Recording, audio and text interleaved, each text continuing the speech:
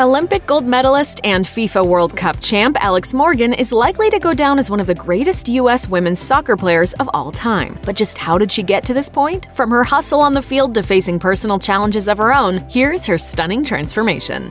I'm Alex Morgan, and this is my story. At seven years old, Morgan fell in love with soccer, and because the sport was important to her, it became important to her dad as well. But he faced a huge learning curve when it came to the game. Alex told the Players Tribune, my dad has always been a baseball guy. He didn't know the first thing about soccer, but when I told him that it was important to me that he watch me play, he got serious fast. I think growing up with sports really gives you that confidence. You grow these personality traits and this confidence that sometimes you might not get if you're not in athletics. When she was nine years old, her dad became her coach. She told Soccer America, my mom was always the super positive supporting parent, and my dad was the thinker who wanted me to see how I could make myself better and help the team. But at the same time, he would listen to me when I said I had enough. I mean, what more can a mother want than for my daughter to actually be a role model, um, you know, for soccer, for women in sports? Just as Morgan headed into her senior year of high school, she was called up to the under 20 national team, according to ESPN. But everything came to a screeching halt when Morgan, then 17 years old, tore her ACL during a scrimmage. She told USA Today, it was a turning point in my life. I struggled emotionally the most. I depended on soccer so much. It was tough doing the same exercises, not being able to run, forgetting how to run when I was first on the treadmill. Um, I set my mind to going to rehab three to four times a week, um, going still to every high school practice, going to every club practice. Morgan missed some of her senior season while rehabbing, but her mom focused on the bright side, telling the outlet, it gave her six months to understand what was taken from her and what she had to do to get it back. The soccer star would continue with rehab when she enrolled at the University of California at Berkeley and make her return to soccer. I went to Cal and I was like, sold. Morgan Starr was on the rise towards the end of her career at UC Berkeley. She made her debut for the U.S. women's national team in 2010 and was selected first by the Western New York Flash in the 2011 women's professional soccer draft. But it wasn't until the 2011 World Cup that she would truly become a star. Sports Illustrated reported Morgan scored for the U.S. in the semifinals and again in a losing effort in the final, which is all the more impressive when you consider she was the youngest member on the squad at 22 years old. She told CNN that playing for the US team was initially intimidating at first, admitting, I joined a team with women who I had looked up to for years. How was I supposed to fit in with them? Obviously, Morgan fit in just fine. I don't care if I fail or if I succeed. As long as I try. Life completely changed for Morgan after the 2011 World Cup. She has since landed endorsement deals with Nike, McDonald's, Tampax, Chapstick, Panasonic Beauty, Nationwide, Coca Cola, and Beats by Dre, among others. Her children's book series, The Kicks, made the New York Times bestseller list and was turned into a TV series for Amazon Prime. I love soccer. The smell of the grass, feel of your foot connecting with the ball, no one can take that away. And in what was a first for women's soccer, she landed on the cover of the FIFA video game franchise 2016 US edition, along with soccer icon Lionel Messi. It's no wonder Morgan, who makes seven figures in endorsements according to her agent via ESPNW, is a regular on SportsPro's annual 50 most marketable lists. But she claims she's selective about which companies she partners with, telling ESPNW, I like to be authentic about who I am and what I promote. Morgan has long been an advocate for body positivity, telling the Postgame, so, whether your body is athletic or skinny or big boned, it doesn't matter. You should love it no matter what. And for her, that includes loving her strong calves. Morgan told Shape that people make fun of them, but she added, It's the one body part I am proud of because it's something I was naturally gifted with. But there have been moments when Morgan hasn't felt so sure of herself. After she posed for one of her Sports Illustrated swimsuit issues, trolls attacked her for having a small chest. Her sister Jeri told ESPNW, People are saying she looked like a 13 year old boy. Although Jeri claims the situation made Alex briefly consider getting a boob job, the world class athlete didn't dwell too long on the haters. Morgan's pretty face has been great for her marketability, and in her opinion, it's also good for the sport. She told ESPNW, I've obviously done certain things like Sports Illustrated swimsuit that has guys interested in me not for what I put on the field, but at the end of the day, they're going to turn on the TV next time we have a game.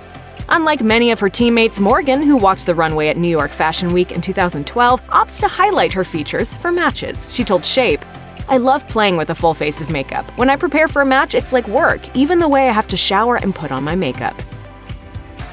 Morgan can thank soccer for helping her find her husband. She started dating Servando Carrasco while they were playing soccer at UC Berkeley. The college sweethearts later tied the knot on New Year's Eve in 2014, according to People magazine. Like Morgan, Carrasco plays the sport professionally as a member of the LA Galaxy. He told the Seattle Times that he and Alex give each other feedback after games and that they hold nothing back, saying, We definitely criticize each other, I'm not going to lie.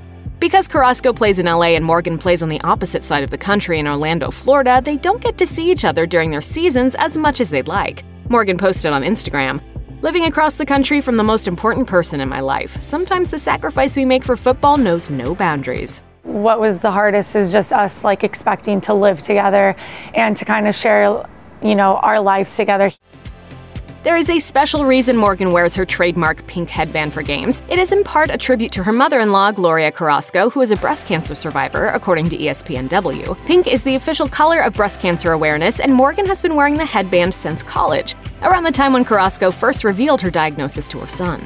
But that's not the only reason for Morgan's pink headband, which is actually made of pre wrap tape that trainers use to protect an athlete's skin from bandages. Morgan likes that it helps her stand out on the field. She told Mueller Sports Wrap, I think my parents just could pick me out from a crowd. You know, pink is one of my favorite colors.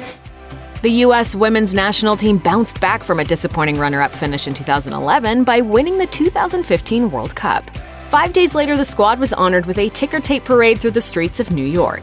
But the experience was bittersweet for Morgan, who had been battling a knee injury throughout the tournament and would undergo surgery a week after the parade. She told ESPNW, I was held back a little bit and I didn't reach my personal expectations or goals, even though it was probably one of the best years of my career. Quite possibly the only blemish on Morgan's squeaky clean resume took place in 2017 at Epcot. Morgan and her friends were kicked out of the Disney World theme park and accused of trespassing, according to the Orlando Sentinel, which cited an Orange County Sheriff's Office incident report. The report stated that they were, quote, impaired and being very loud and belligerent towards staff around guests. Morgan referenced the popular tradition of bar hopping at Epcot, posting a group photo on Instagram earlier that day with the caption, Annual Around the World in 8 Hours. No big. No charges were filed, but Morgan took responsibility for the incident afterward, tweeting, I want to apologize for my actions that occurred over the weekend. I will learn from this and make sure it does not happen again.